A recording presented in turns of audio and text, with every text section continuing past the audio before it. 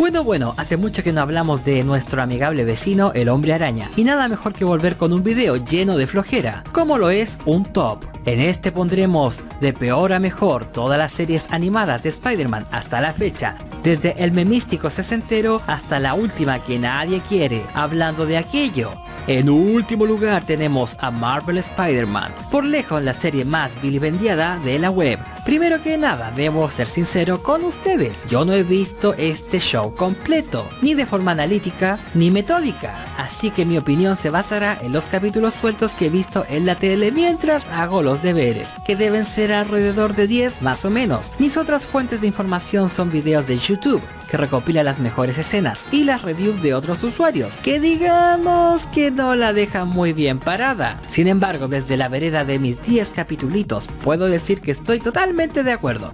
No diría que es una serie extremadamente mala, pero es sosa, insípida, aburrida, desaliñada, tanto en historia y personajes. Cuando comencé a hacer esta serie de Spider-Man en mi canalcito de YouTube, al igual que esta serie, tampoco había visto Espectacular Spider-Man, la cual sí me enganchó desde su primer episodio y me dieron ganas de verla automáticamente. Esta la vi para hacer este top y dije, ah, ¿cuántos capítulos son? Uh, no, no, no, no, no, gracias. Me quedo con lo que vi. ¿Te da curiosidad verla? A mí no, cero. Las historias son genéricas, aderezadas con vida escolar genérica. Los personajes también tienen ese mismo aire, de que simplemente son funcionales y ya, cumplen su rol de personaje, el rol de la Mary Jane, la Stacy y el Pedro. Pero no son mucho más, de hecho mi problema principal es con Peter, es que no tiene personalidad, es el típico bueno tonto nerd. ¿Dónde está la maldad? Bueno, en fin, no merece que me alargue más en una serie tan me e intrascendente. En el siguiente puesto tenemos a Spider-Man Unlimited, la primera en imponer la moda de series de Spider-Man canceladas. Por lejos, este es el show de Spider-Man más atípico. Aquí nuestro buen amigo el hombre araña dejaba la Tierra para llegar al planeta de los furros y combatir al creador de este planeta y sus habitantes, quien intenta someter a la raza humana de este lugar bajo las garras de los furros. Para eso luchará junto a la resistencia comandada por el teniente Jameson, recién llegado de la Tierra, hijo de el Eres una amenaza, hombre araña, más o menos esa es la premisa de sus dos episodios para quien no la conocía o no recordaba. Una cosa que me sigue llamando la atención es que para mí su animación sigue siendo de las mejores, a pesar de tener décadas de antigüedad. Aunque a mí la historia me agradaba, creo que no funcionaba tan bien como serie de Spider-Man, ya que todos los problemas que le ocurrían a Peter eran ajenos a este, mientras que siempre el corazón de Spider-Man han sido los dramones telenovelescos y humanos en los que se enreda Pedro con los demás. Por ser tan ajena a Spider-Man, cualquier otro héroe pudo haber sido el protagonista y no mucho habría cambiado. De hecho, tengo la ligera sospecha que esta serie era una historia completamente independiente, pero como es difícil vender una nueva IP, le agregaron a Spider-Man como gancho para vender, más o menos como Nintendo con Mario.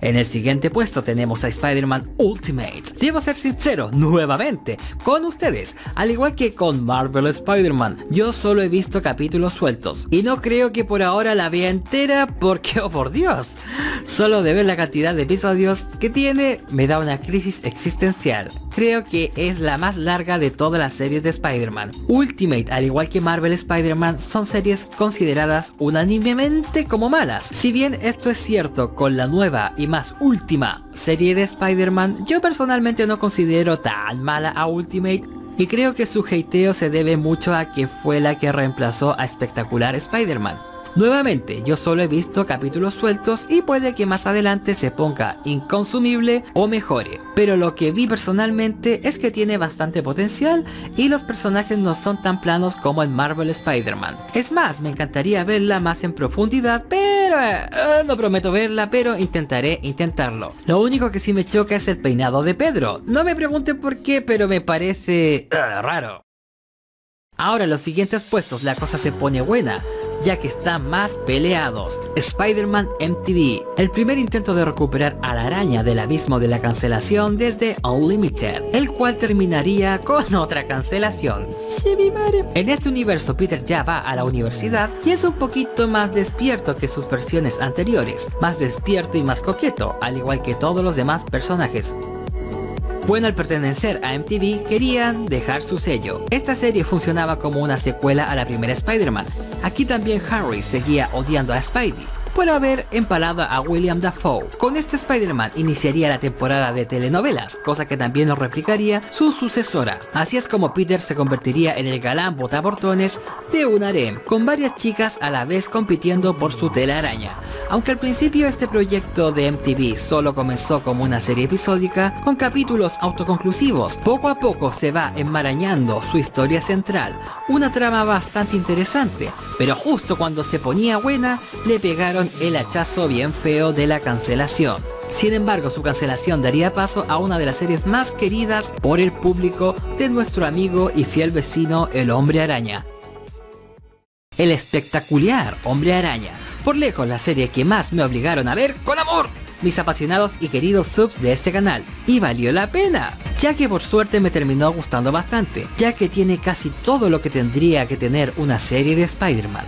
Acuérdense de ese casi. Sobre todo lo hace espectacularmente bien en el ámbito de relaciones interpersonales entre Peter y los demás personajes, pero primero debemos poner en contexto a los herejes que aún no la han visto. Este es el Pedro más joven de todas sus contrapartes, siendo habitual la vida escolar, pero no se dejen engañar, no no no. A pesar de tener los personajes un rango etario bajo, esto no quiere decir que la serie solo se resuelva alrededor de dragones getélicos e insípidos, como su versión más moderna, Wakala. Toca temas bastante darks y adultos, como tomar consecuencias de los errores que cometes, o afrontar los problemas del mundo adulto, cuando no se tienen los recursos más allá del meme que Peter es pobre.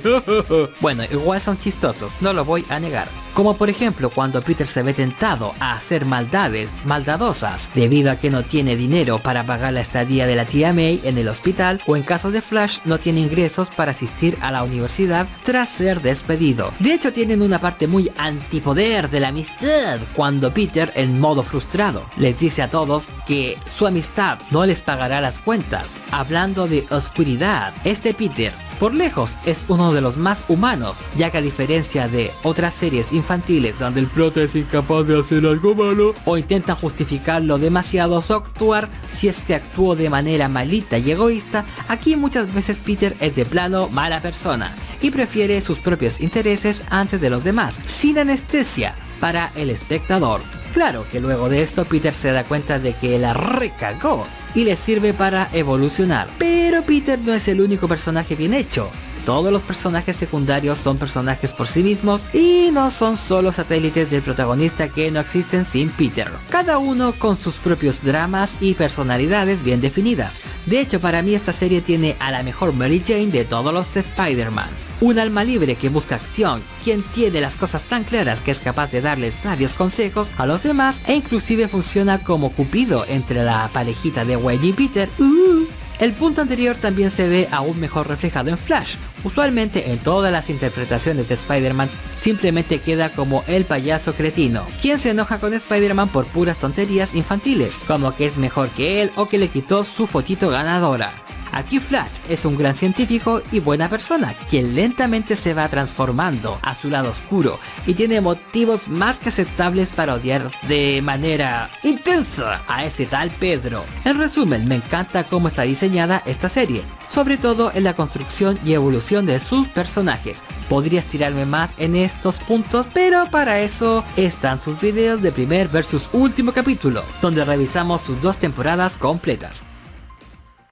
Ahora se estarán preguntando, ¿por qué si te encantó tanto este Spider-Man no está en primer lugar? Bueno, simplemente es que me pregunto, ¿qué estoy valorando para marcar una serie de Spider-Man como la mejor? Ahora viene el casi que mencioné antes. A pesar que espectacular, hace un increíble trabajo en contar la vida y desventura de Peter Parker, creo que se queda un poco cortito en contar la vida de Spider-Man. Su alter ego es más o menos lo contrario que sucede en Batman la serie animada, donde es una gran serie de Batman, pero deja un poco de lado al personaje de Bruce Wayne, cosa que arreglaría muy bien películas como La Máscara del Fantasma. Por eso mismo es considerada hasta ahora como una de las mejores, sino la mejor película animada de cualquier superhéroe. Pero ya hablaremos de eso más adelante. Bueno, si quieren el video ahora ya, ya saben qué hacer, dejen su rico comentario y like.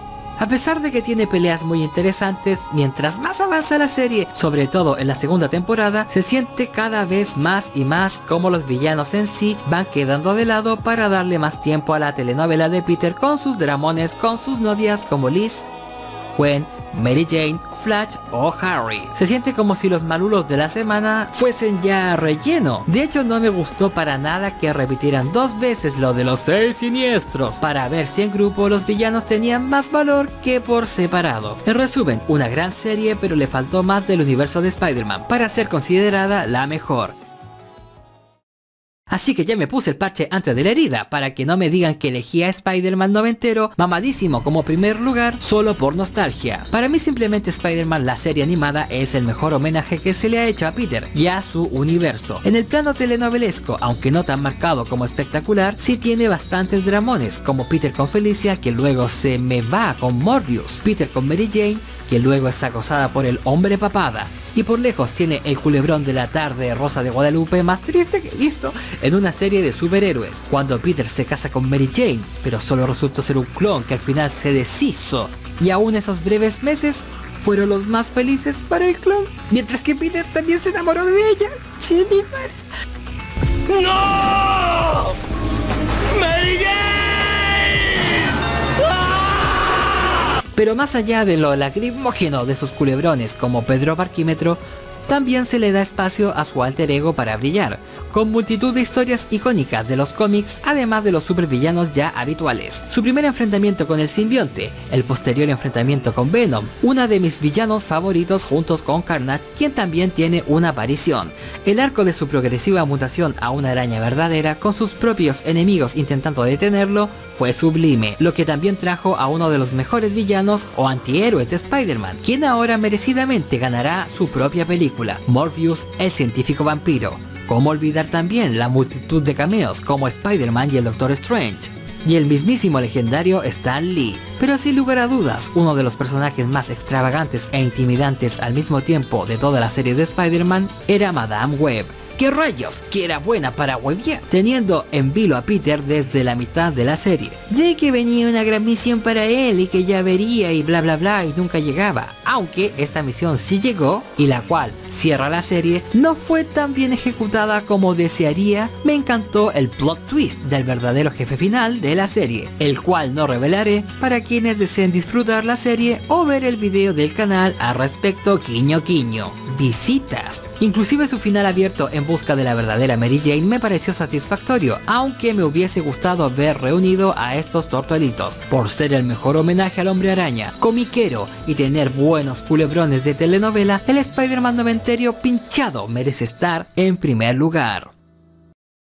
¿Pero qué es esto? ¿Aún hay más? El único hombre araña que merece estar por sobre estos portentos es el Spider-Man japonés, de bajo presupuesto. Un Spider-Man totalmente infravalorado por sus limitaciones de la época y monetarias. Bueno, y porque tiene sus buenos memes, no lo voy a negar. Sin embargo, no la subestimes, ya que sin esta probablemente no existirían los mismísimos Power Rangers o Super Sentai en su forma original. ¿Te preguntas por qué? ¿Quieres saber más? Pues descúbrelo cuando haga su primer versus último capítulo, cuando este video llegue a los 10.000 likes. Seré honesto, solo hice este video porque quería que me lo pidieran. Vamos, pídanmelo. Tiene un robot gigante y un autito. Si les ha gustado este video me ayudaría muchísimo que me dejasen un like, un comentario y se suscriban con campanita y todo para que sepan cuando suba el siguiente video. Síganme en mis redes sociales, abajo en descripción y en el comentario fijado. Muchas gracias por ver hasta el final y me despido. Adiós.